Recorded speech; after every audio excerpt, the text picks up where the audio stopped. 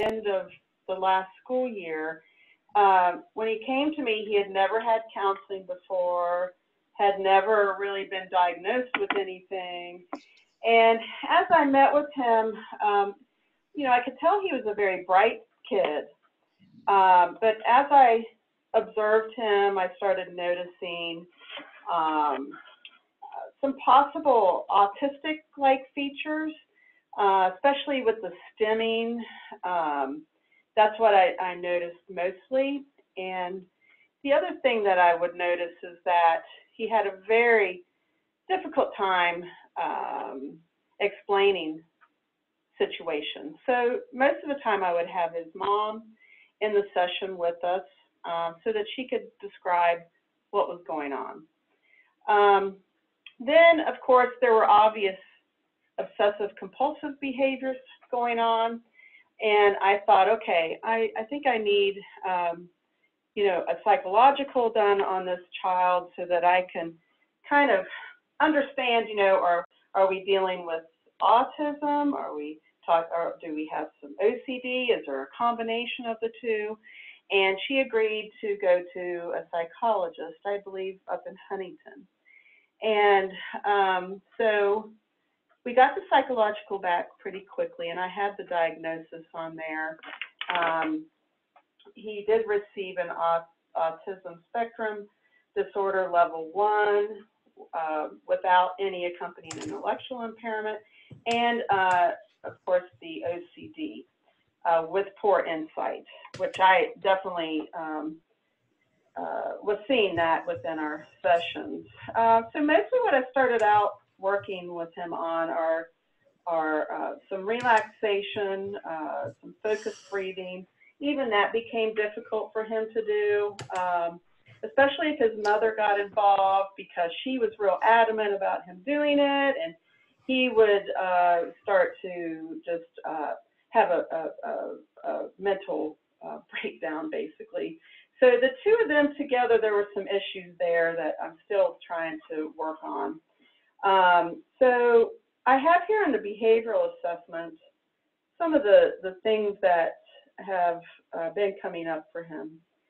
And um, so I think the most difficult issue is when he just refuses to eat because he is afraid that he's going to be poisoned or the food is contaminated in some way.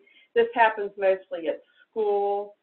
Um, his he and his dad both watch YouTube videos, and they're they have uh, more they they watch the more scientific oriented ones.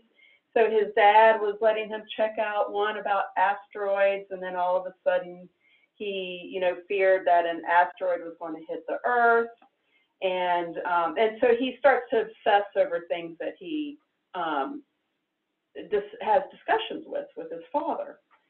Um, and so this started about a year ago uh, for this patient, and um, and I guess the mom and dad were basically just trying to deal with it the best they could. They thought it was attention seeking. They weren't sure. Um, but I've seen him walk backwards into rooms before, and he won't touch anything.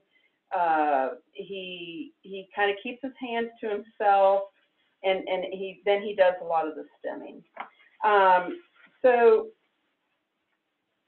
so some of the research I've done uh, is telling me that traditional CBT doesn't always work for kids who have this combination of diagnoses. So um, part of the reason why I was really what I was really hoping for uh, uh, today is to kind of get some feedback, some uh, possible uh, things that I could approach with this kid and um, and his mother as well.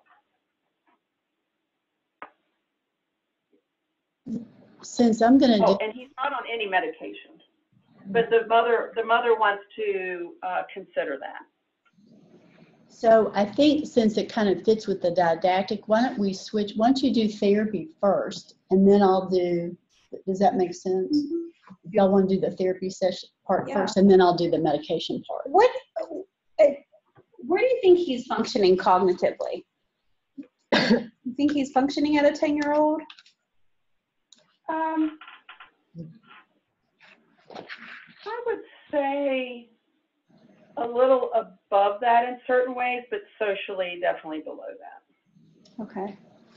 So his his when you talk about his thought process and poor insight, can um, you give me an example of that?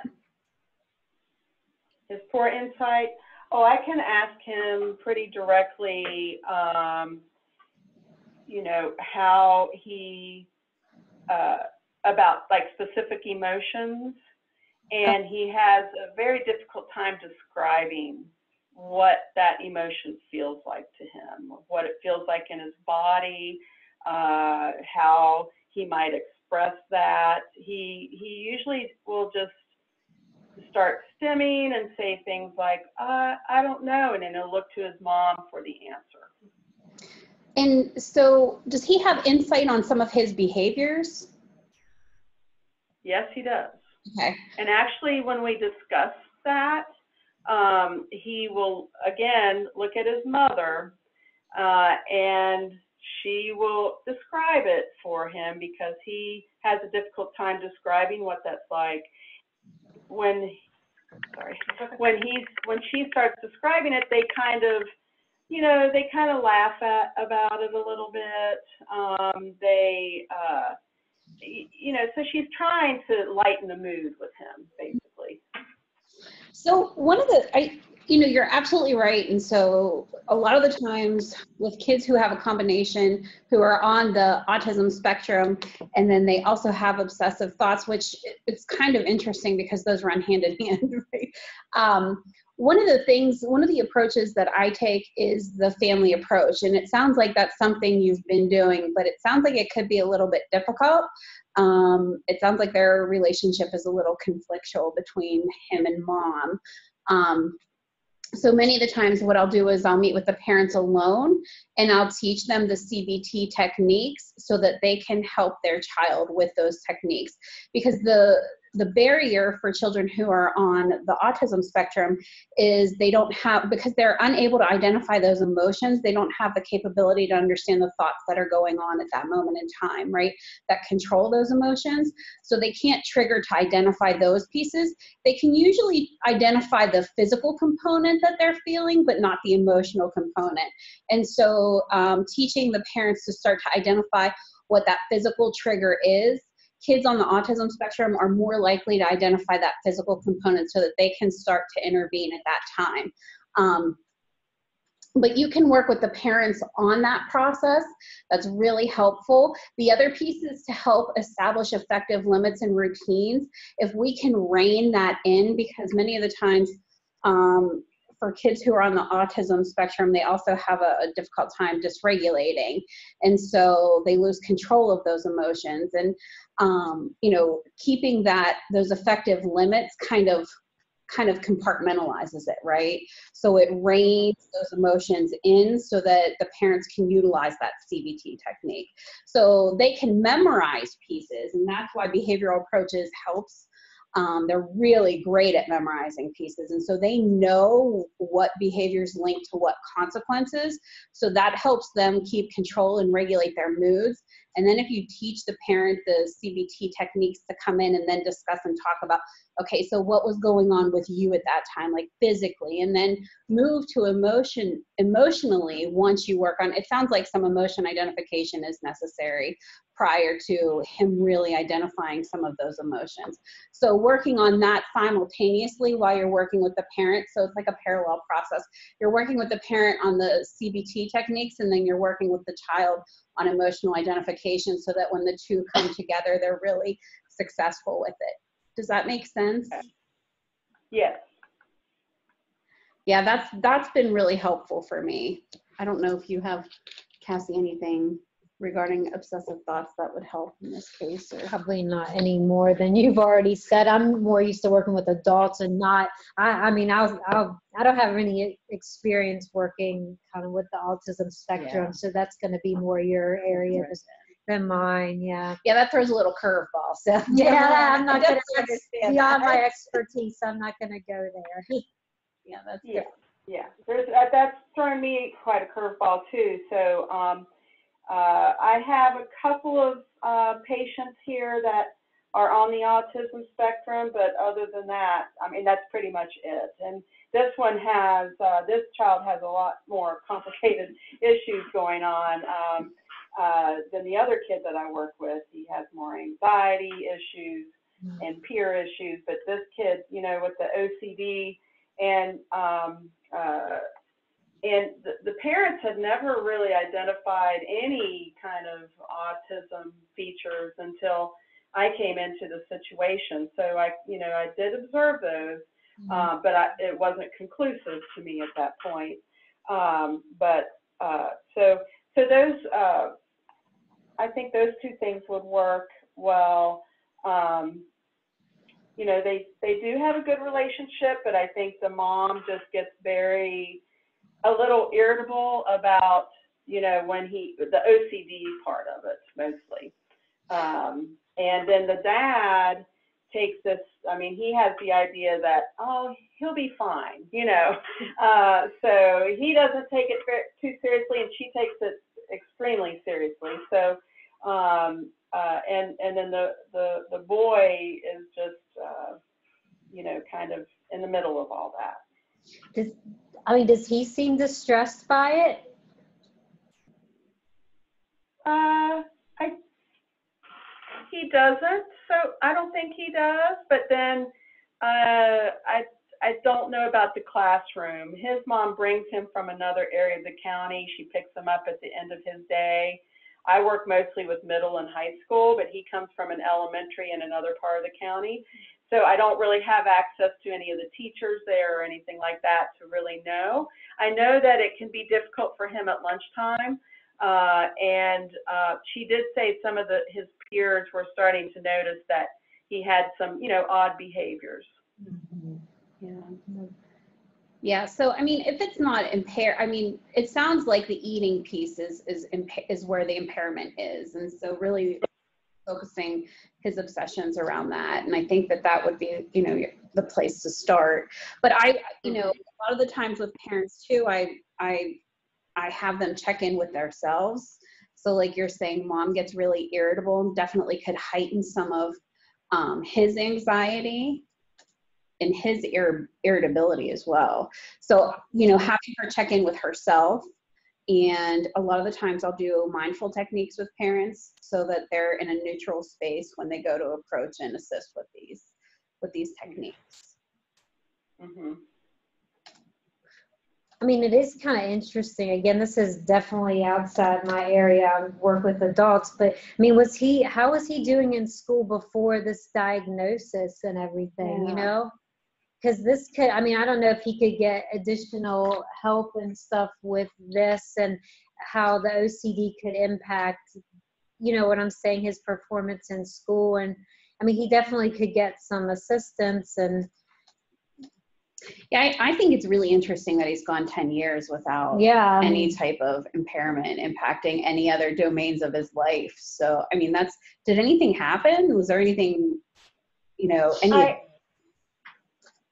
I asked about that, and it did. Uh, other, she did have a baby about a year ago, and then he has a, I think, a seven-year-old brother, and the brother, he and the brother have a lot of conflict.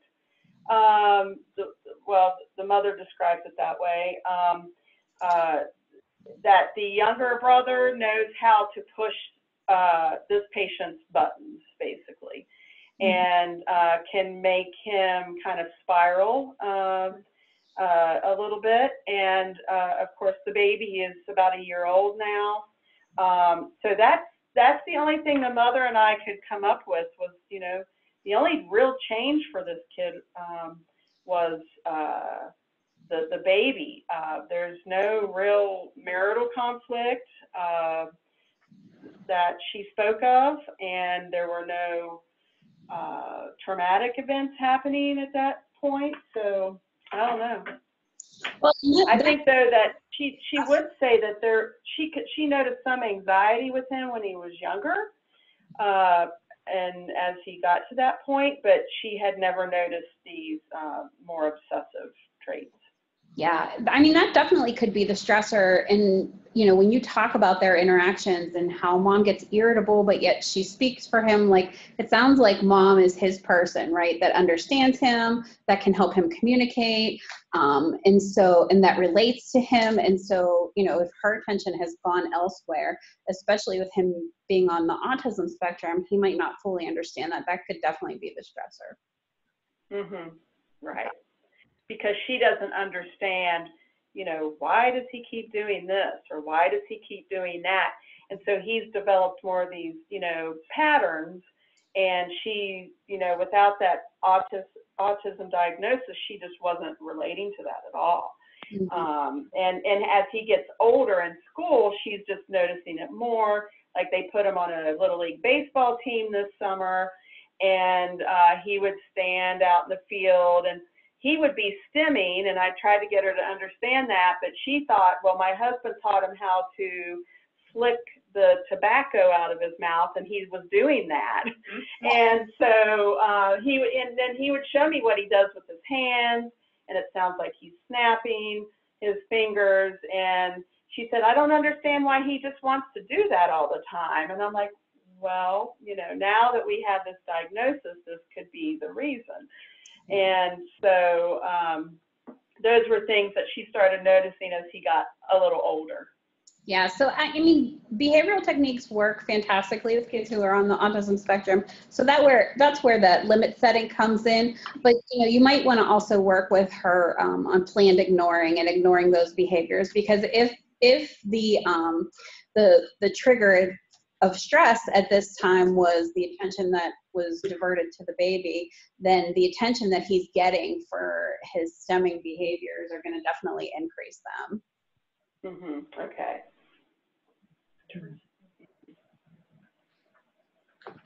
Lisa, I want to thank you so much for presenting the case. That was excellent. I love the discussion. Dr. Goodington's going to talk some more. Well, too. thank you for your feedback. Thank you. You know, one of the interesting things, just to follow up before I start talking about medicine, is is that um, there there are some, you know, there is a, a component of um, autism spectrum that has kind of an obsessive um, kind of need for sameness and counting and things that look very much like OCD. And I've I've certainly seen kids who had an autism diagnosis that um, also had an OCD diagnosis that I didn't really think applied. I thought it was more part of their their autism spectrum, but certainly it's not mutually exclusive, and you can have both. The, the other thing about the distress is it's amazing. Um, I actually have kind of partial care of an adolescent female who's now 16, 17 years old that has probably, and I, Dr. Ladrowski um, has the therapy portion of it, and I've had her on my inpatient unit. Um, she is probably the most impaired OCD child, adolescent I've ever seen, and is completely oblivious. She thinks that she just needs to do her rituals, and if people will just let her do that, she is perfectly content to stay home, not go to school, avoid school, um, and just sit home and do her rituals and all this, and she's perfectly content.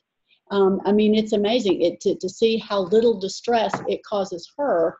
Um, her family, however, is a complete nightmare. Um, they're just a mess over it, but that does happen. Um, what I'm going to do is, is this kind of was perfect because I was doing today's talk on child and adolescent anxiety.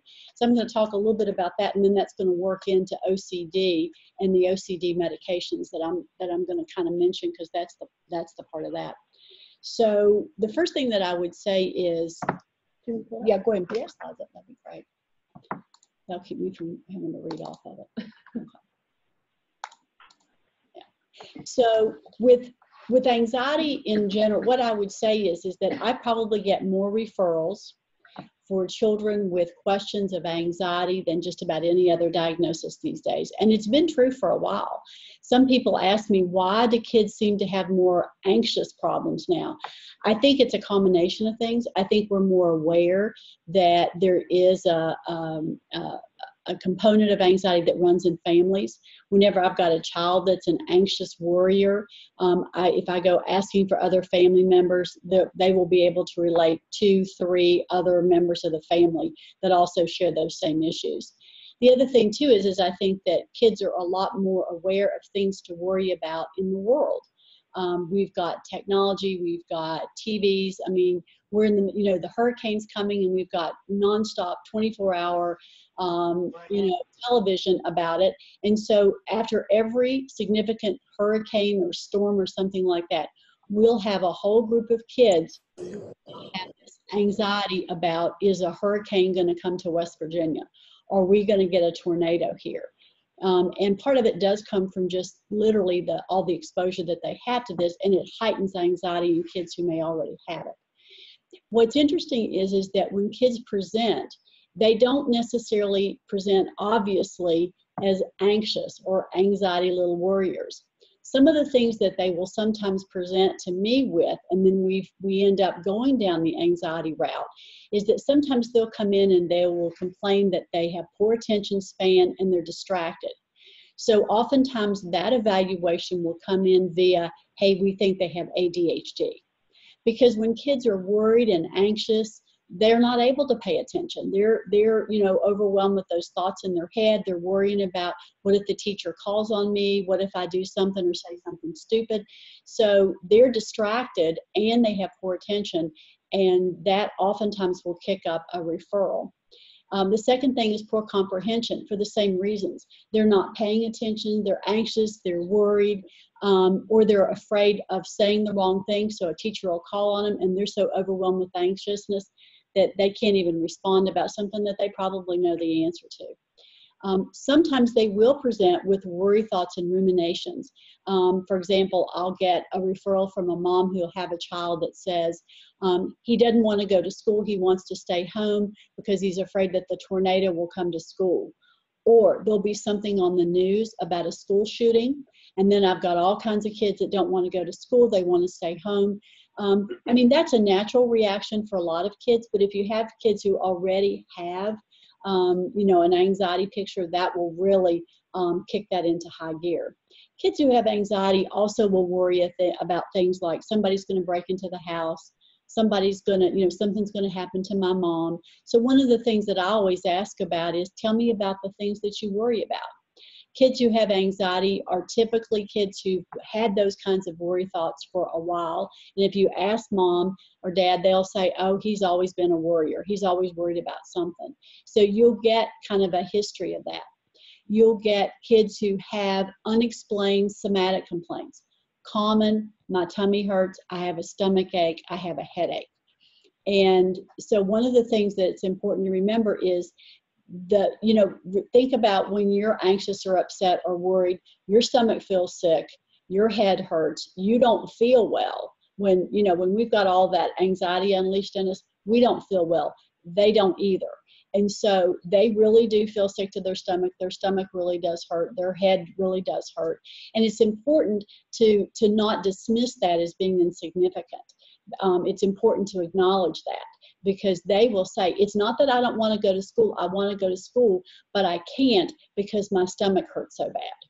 So there's an unconsciousness, you know, that they're not necessarily trying to dream this up like I did when I was in junior high and we always tried to skip school and I had the infamous, you know, stomach ache or headache. These these are kids who genuinely feel it. Um, and they may actually want to go to school and be with their friends, but this is one of the things that keeps them from doing it. Other kids will get presented because the parents will say they won't go to school. They don't want to go to school. There's no explanation for it. I just don't want to go.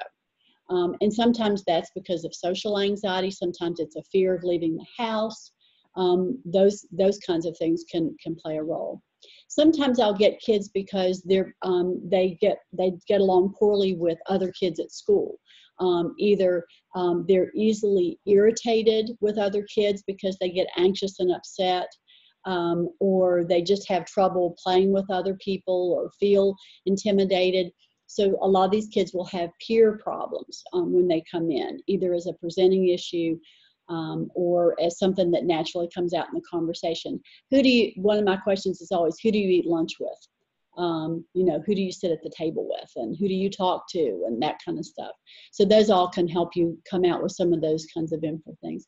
And then lastly your separation issues and that's just flat out i don't you know i can't you know has always cried you know, from the day they went to preschool, they stood, you know, and cried and cried and cried as the parent, you know, left and, you know, had to be brought into the class. Kids who early on have those kinds of issues and really struggle with that is also a symptom of, you know, what's going on with the anxiety. We do expect for that to lessen as they go on in school, but there's some kids that they're very persistent about that. Um, and that's this isn't just for little kids. I recently had a 15 year old boy um, who had terrible separation anxiety. He was adopted um, by his own grandparents um, and removed, and they were up in years. And then the adoptive father died. Um, basically, I think he was in his 70s. And then the grandmother, who was his adoptive mom, began to have heart problems. At that point, he didn't want to leave the house he was afraid that she would collapse or something would happen. So he just flat out did not want to go to school and got into trouble for truancy, which is how he got referred um, uh, to come see me. But his the the whole thing with him was he had this terrible anxiety that he was going to lose um, this one stable person in his life, um, and that, and that caused real problems for him. So these are just you all can probably think of a number of different ways that kids present to you all also Mm-hmm. with anxiety. It it always should be in your differential.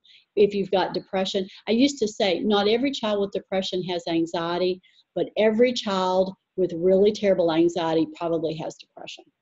Uh, and that's something to always be thinking about as you go through it. So the treatment is um, is course therapy, and we talked a little bit about that. And of course, I know that Amanda and Cassie both can talk about treatment for anxiety itself, you know, on and on and on. Um, but what I'm going to talk about are the medicines. So the first thing to remember, and I actually asked the residents this the other day, I had four of them in a room and I asked them which of the FDA medicines were approved for treatment of anxiety in children and adolescents. And they gave me three or four names, all of them, and they were astonished. There is no FDA approved medication for treatment of anxiety in children and adolescents. There is none. So everything that we're using, we're using, you know, because we've used it for other things or anecdotally or we've had success with it.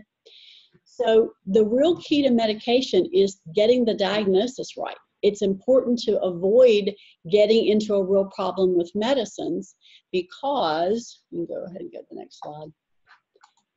Um, because they will come in on a whole bunch of medications, um, either because they've been diagnosed with ADHD or they've been diagnosed with something else, or somebody didn't know really what to prescribe, so they just started throwing medicines at them. So the list of most common medicines that you'll see used with kids who have anxiety, at the top of the list is clonidine, okay? Clonidine is a beta blocker, and it will do what to kids what it would do to us. If we took clonidine, we would feel probably a little relaxed, maybe a little sleepy, would knock me out. I would just go to sleep on the stuff, which is what a lot of kids do. It doesn't have any specific treatment whatsoever for underlying anxiety. It's just going to maybe make them a little calmer or make them sleepy. But as soon as it wears off, they're right back to what they were, and it has done nothing to treat the core problem, which is the anxiety. The same thing is true for guanfacine, which is your Tenex. Same thing. I see people use that as a treatment for anxiety um, and it doesn't really do anything um, except there may be some calming effect, but it doesn't really treat anxiety. It doesn't get to the core of the problem. And again, it wears off and they're right back to where they started. Sometimes I'll see kids on antipsychotics. I know that's out there, but it is interesting because they will, you know, there are kids who have anxiety who will get so anxious that they'll act out because they get overwhelmed with all their thoughts or for example, and this isn't the case with the, the case that you presented today, but I've had kids whose moms were like at their wits' end stop walking backwards into the kitchen, stop washing your hands. And they get exasperated with them. And the kids, in reaction to that, sometimes just lose it because they're trying to do this thing that their head's telling them they need to do, which is not to touch a doorknob and not to, you know, drink after whoever or whatever it is. And so they're completely frustrated and they get emotionally dysregulated because they're now trying to, you know, go against these two competing things what's in their head and what's going on with their mom. So sometimes when that ends up being more um, mood and aggression and those things, then those kids that end up on antipsychotics. Okay, completely inappropriate in my opinion. Don't think that is anywhere you need to be. Um, I think you need to go to the core of the problem, and absolutely is not a treatment for anxiety. The real treatment for anxiety for the vast majority of these kids and adolescents are the SSRIs and the SNRIs. Okay, we don't have a specific FDA indication for them, um, but the ones that we typically use are the ones, and some of are in the list that I have further down about OCD. But those are typically um, Prozac, uh, the fluoxetine, sertraline, which is Zoloft, um, Lexapro, um, which is escitalopram, and Celexa, which is citalopram. Those are probably the leading ones that we use. I'm not a fan. I see some kids on Paxil, which is paroxetine. I'm not a fan. There's people from time to time that use it, but I've seen more problems with it, and there's a there's weight gain issues and other things. So that is way, way, way down on the list. Some of the SNRIs that we have seen used, um, you, you do see venlafaxine, which is a. That is sometimes used in adolescents. Um, I'm kind of plus minus on that because there's a wear off, tapering, withdrawal thing with that. Um, and so that's not always a favorite. And there are some people who believe that venlafaxine really can increase suicidal thoughts in adolescents. Um, the other one is uh, Cymbalta, and um, that is one that we do sometimes use. Um, particularly, I have a, an adolescent girl right now. I just came from making rounds on my unit. She's presented on my unit with chronic anxiety, chronic uh, depression, and a four year history of unexplained stomach pain um, that is chronic and completely debilitating um, and causing her to be suicidal. Um, I don't know what all she has been on, but we're going to put her on some Cymbalta.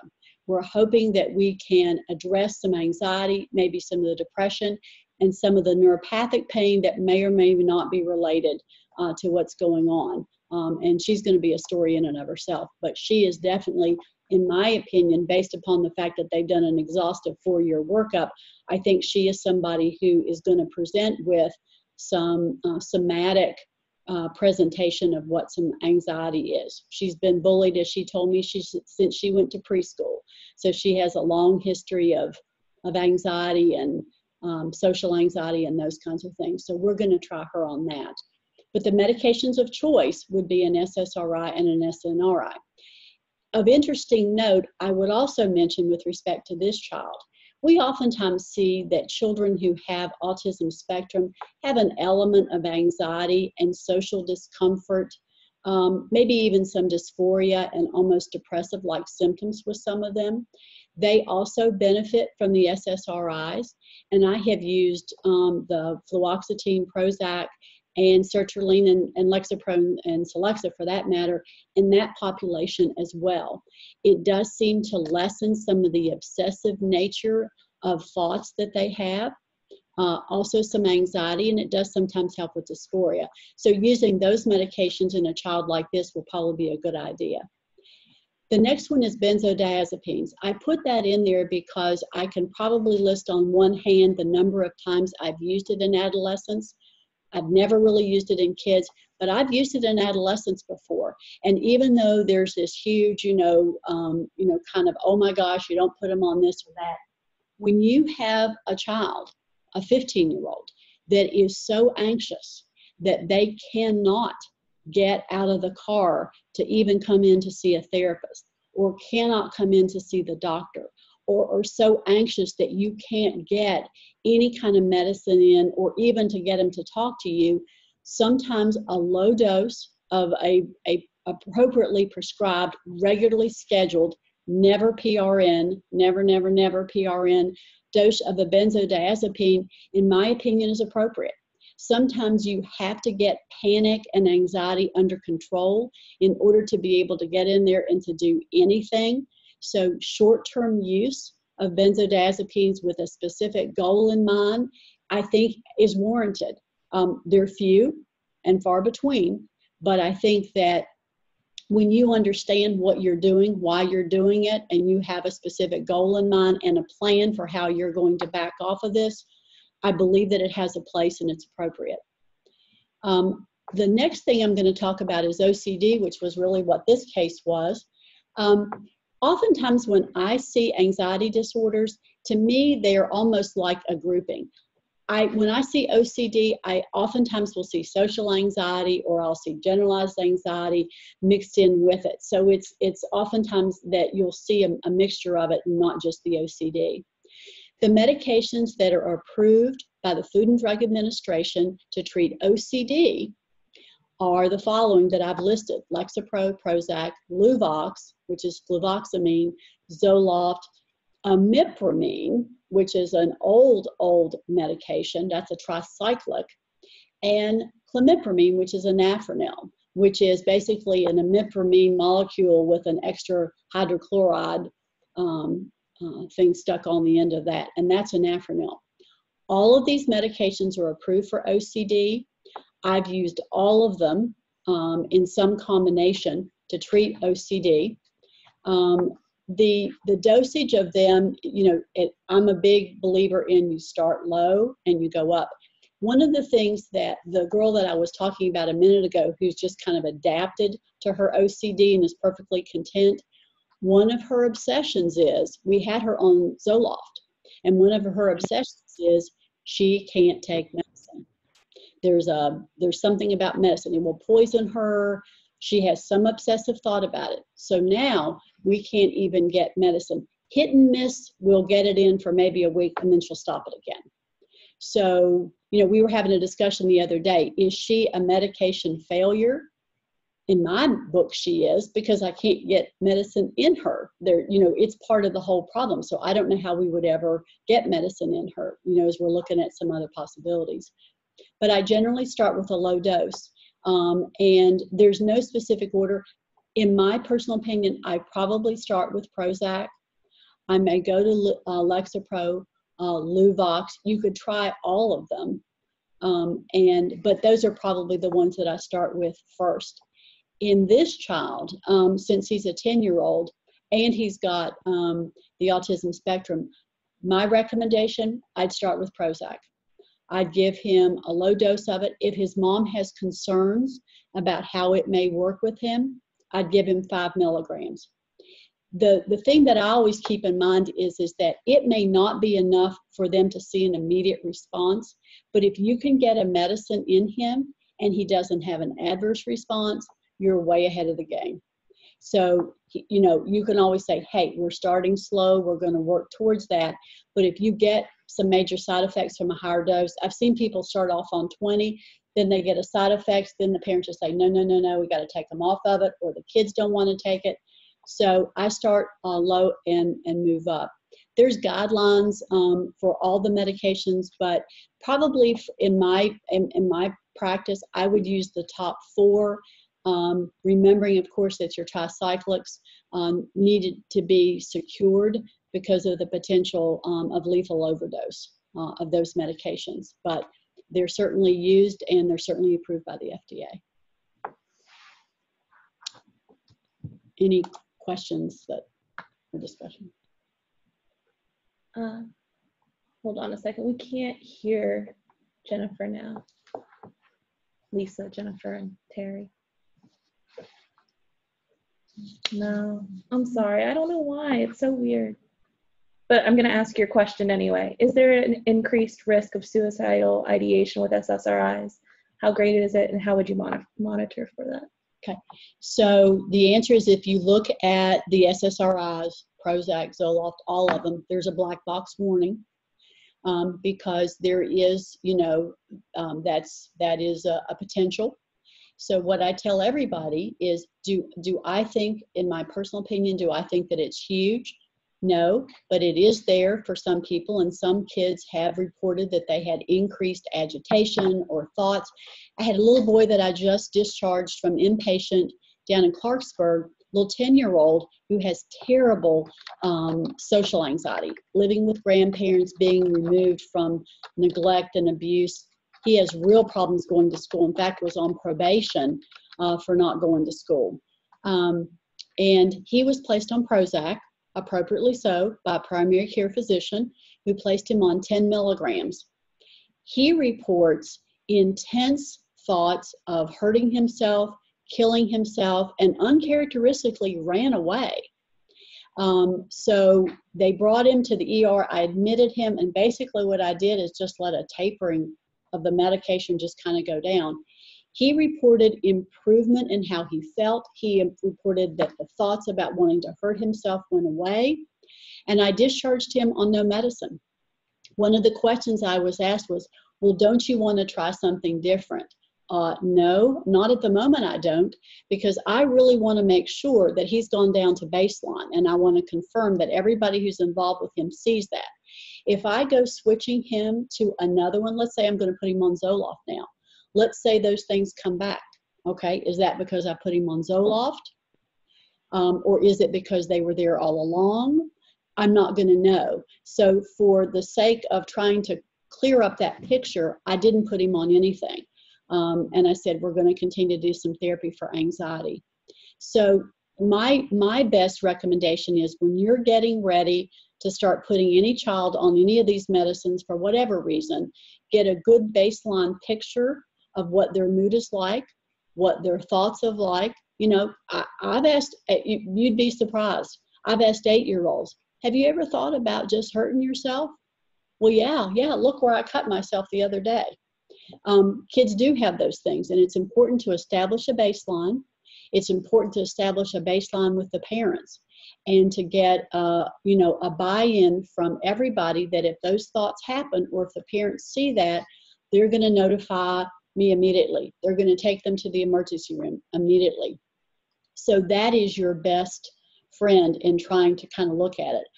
I i'm hoping that you'll never see that happen. I do think it's infrequent but because it happens even if it only happens once or twice in my lifetime it's going to be enough to make sure i'm asking the right questions and watching for the right things. Uh, there was one other question about hydroxy. Visceral hydrozazine Hydroxyzine. Yes. So um, I should have put that on the list. I apologize. I was doing this last night after I was really tired. I apologize. Um, we do use Vistaril, the hydroxyzine, or Atarax, um, which is the same thing that comes a little bit lower dosage in 10 milligrams. I have used that if I've got a child who is in an overwhelmingly anxious situation. I've used it. I will use it with them sometimes at bedtime for sleep. Um, just like we do the clonidine. And oftentimes that's to soften some of the anxiety so that they can try to go to sleep and they can use some of the, the techniques that maybe that they've been asked to use. It is, it softens symptoms, but it doesn't treat the underlying problem. And uh, like, for example, I had an adolescent the other day who said, who came into the hospital on Vistaril 25 milligrams four times a day. And I said, is that helping you? And she said, I don't know. I'm asleep all the time. So I don't know what I feel. So, um, so you know, there there's a place for it, but I think it's judicious use in circumstances, maybe a little bit um, at bedtime. But I think that the techniques that therapists use to help them at bedtime are way more, way, way, way more effective. Um, sometimes kids use bedtime tapes that they listen to that are soothing and all sorts of things. And I think those are always going to be preferable to medication, but you can certainly use it at times. All right. Are there any other questions, you guys? We have about nine minutes left.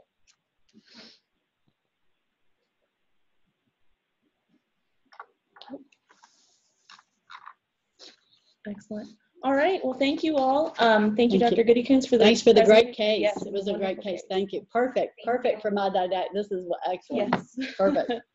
Um, I do want to let you guys know, uh, we will not be having an echo session on the October 3rd, which would be the next psychiatry meeting. All right, but if you guys have any cases you want to discuss, just feel free to send them in. I'll make sure they get seen. All right, see you guys later. Thank you. Thank you. Yeah.